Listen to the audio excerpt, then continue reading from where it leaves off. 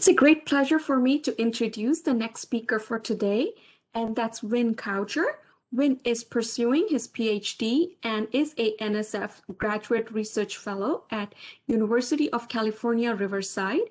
His research focuses on sources, transport, and fate of plastic pollution in the environment.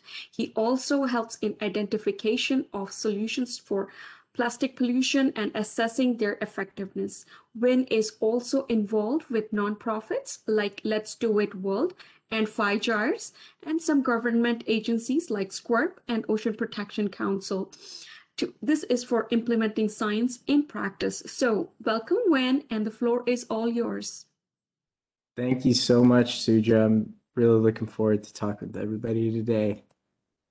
All right, so the title of my talk is Open Source Raman and IR Spectroscopy, Paving the Future for Spectral Analysis Using Artificial Intelligence. So lots of cool stuff to talk about.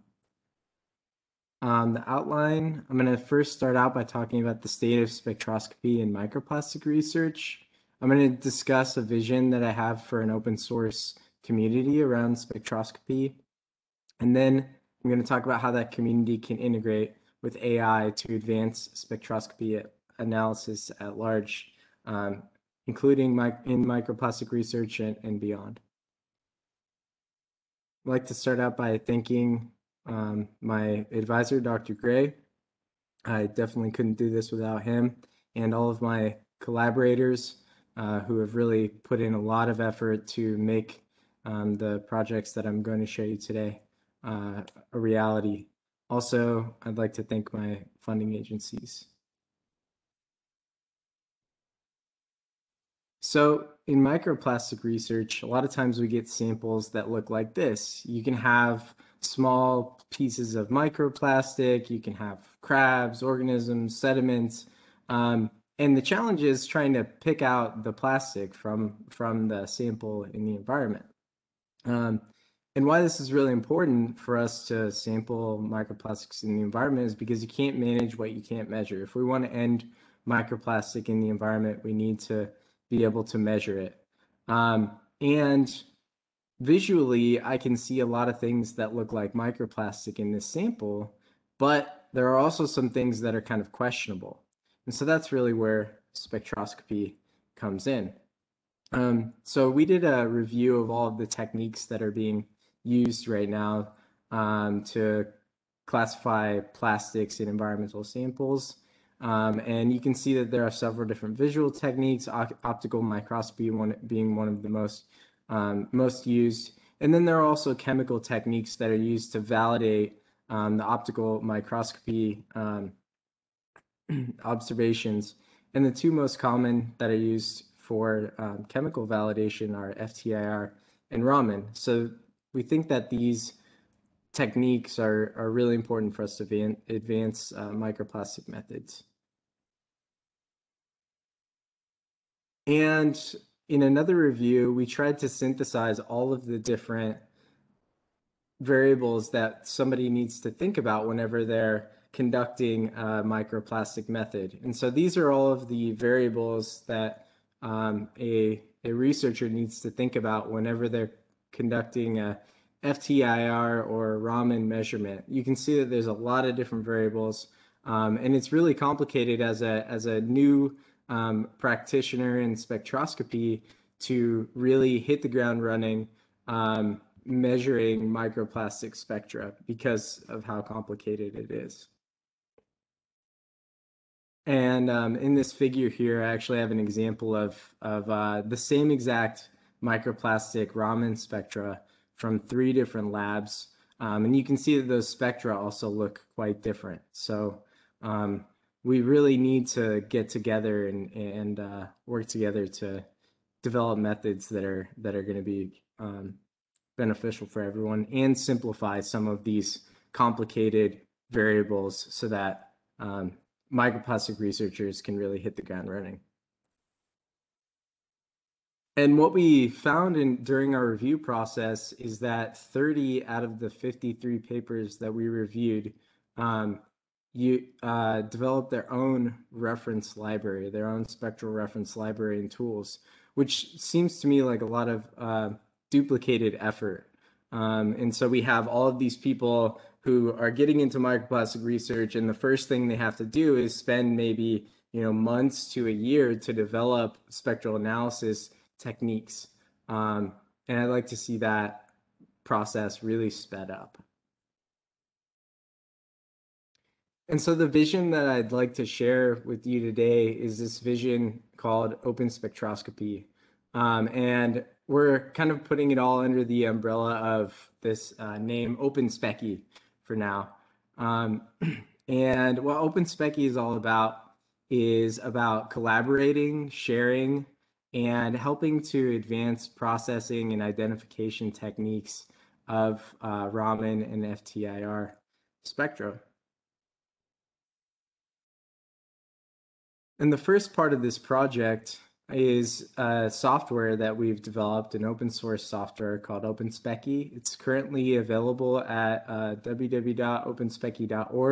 There's also an R package that is currently on GitHub, but is just got uh, released to the CRAN um, today, so it's undergoing uh, review from the CRAN reviewers. So you should be able to use a lot of these functions in R in the R programming language very, uh, very soon, really simply. And I'm going to give you a quick demo of the current OpenSpecy tool. You're actually going to get a demo of the tool um, that nobody else has seen before because this is this is the uh, next big release. So I'm really excited to share this with everybody.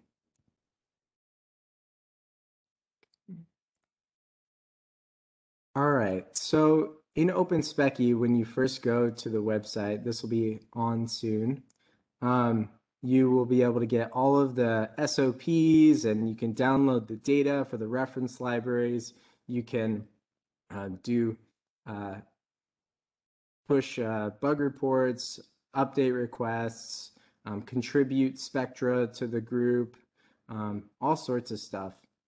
And our main features that we're working on right now are uh, under three different tabs. So the first one is just uploading a file, and we have a sample file here that people can uh, use to try to get started on the tool. And you can just drop that. And if you have this selected, you automatically are sharing your Spectra with an online um, open source community while you're also using the tool for, for your own benefit. Um, and after you upload the spectra, the tool assumes everything's in absorbance. So if it's in transmittance or reflectance, you have to um, convert it. And then if you'd like to proceed further and start to pre-process your spectra, you can go to the next tab and the data just gets translated over to the next tab. Um, we have three different main tools that we're using for IR and Raman spectra smoothing, baseline correction, and range selection and you can kind of toggle those on and off. Um, and then you can click these and, and change how smooth um, or how much the baseline correction um, is working. And then so once you get a really clean spectrum, so we'll clean this one up a little bit. Yep, looks good. Then you can click match spectrum and then you're automatically trying to identify the uh, spectrum that you uploaded against an online reference library and you can select which types of what type of spectra, how you'd like to analyze that match, and you can view all of the top matches here really simply. So the goal with this is to streamline spectral analysis and make it extremely user friendly to um, somebody who's just getting started with spectroscopy. You can see I only really had to make four clicks to get all the way to the end. Um, and we've been spending a lot of time building pop-ups like this so that if you hover over a um, uh, feature, then it'll just explain to you what that is. Um, so we're trying to improve accessibility. We also currently have this Google Translate feature, which will allow you to translate um, into different languages, um, and many different languages are supported with that. Uh, and we, we are going to continue making accessibility one of our top priorities. All right, I'm going to go back to the slideshow here.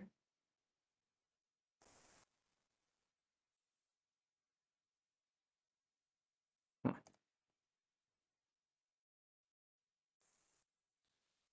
think this might be having a problem. Let me.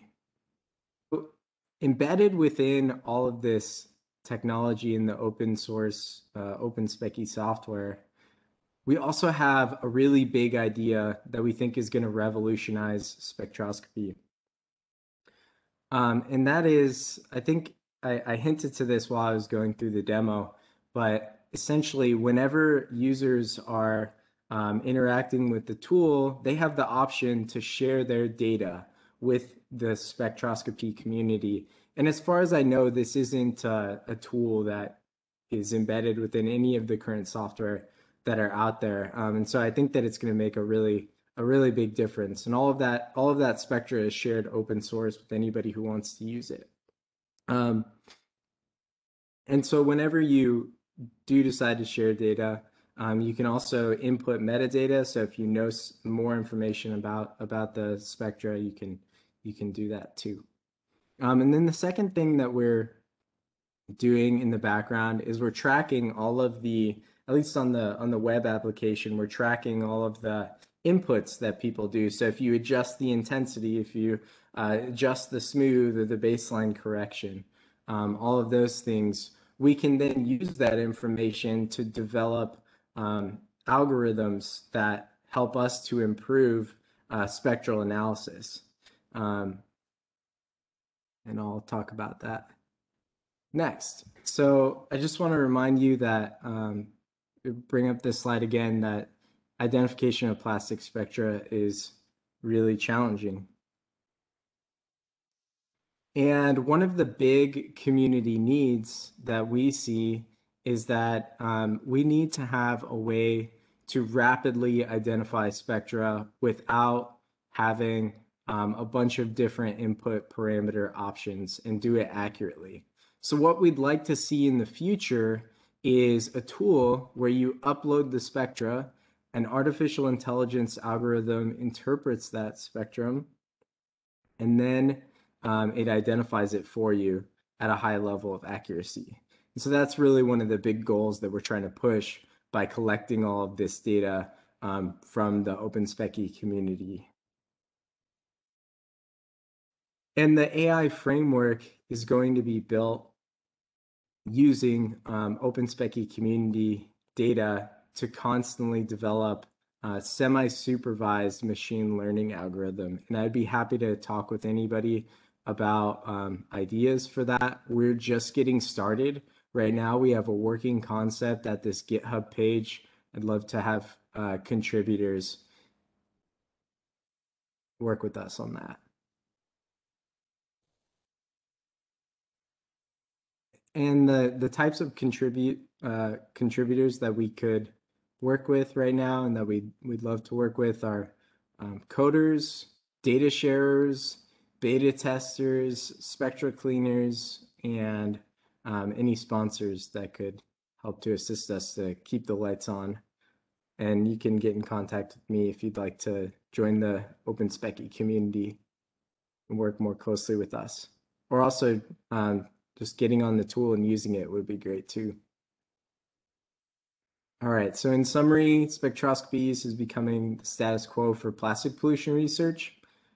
OpenSpecy eliminates duplication of effort, improves access to spectral analysis tools, removes barrier to entry for new practitioners, and advances spectroscopy techniques.